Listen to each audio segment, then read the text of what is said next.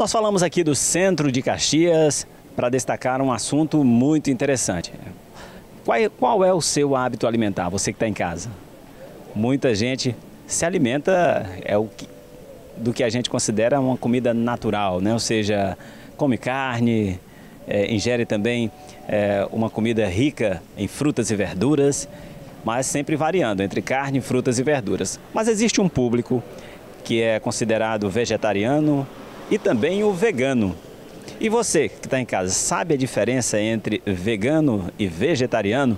Nós conversamos com uma nutricionista que destacou, inclusive chamou bastante atenção porque existem só no caso de vegetariano vários tipos de vegetariano, além do vegano, que é aquele que retira a carne da sua alimentação. Além disso, ele não compra nada que seja derivado é, de animais, ou seja, ele não usa roupas que tenham a ver é, que algum animal teve que ser sacrificado para que essa bolsa tivesse que ser construída, enfim. É, no vegetarianismo tem várias classificações. Primeiro é o vegetarianismo restrito, que eles não consomem nenhum tipo de carne, nem ovos, nem leite derivados, peixes ou frutos do mar.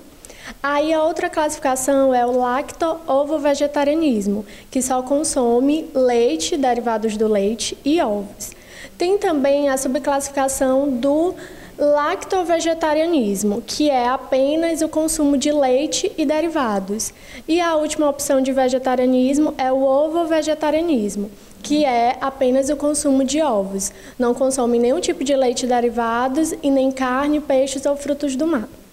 Sim, é difícil a procura. Atualmente aqui em Caxias não tem muita procura por, um, por uma alimentação mais vegana. É, porém, já fiz algumas é, consultas, sim, para pessoas que optam por esse estilo de vida. E o vegano, qual é a característica dele? Então, o vegano é mais uma mais radical, exatamente. Eles não consomem nenhum tipo de carne, frutos do mar ou peixes, e também nem leite e ovos.